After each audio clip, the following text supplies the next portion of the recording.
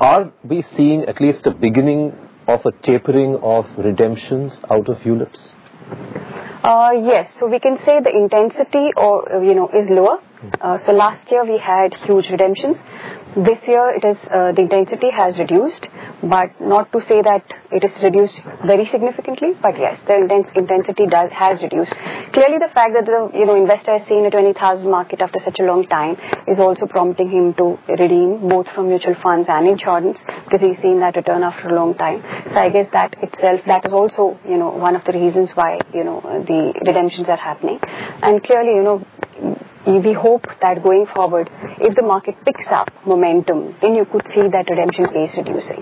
Hmm. But what you're saying is that the kind of pillar or the biggest mobilizer of equity that insurance had come to become, that is not going to happen in a hurry.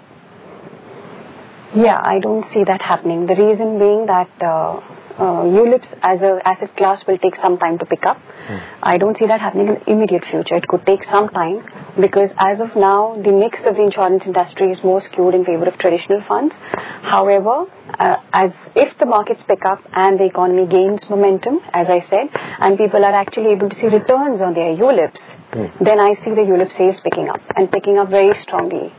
But that may happen maybe post-elections next year because, you know, we still have an election coming up next year. And if, even if markets pick up by the end of this year, probably that pickup new ULIP will come with a lag. You know, people need to be convinced that they have earned some return before they start thinking of investing again. Hmm. Right? And before they, you know, so I think it's going to take some time. I don't see this happening immediately the next one year or so.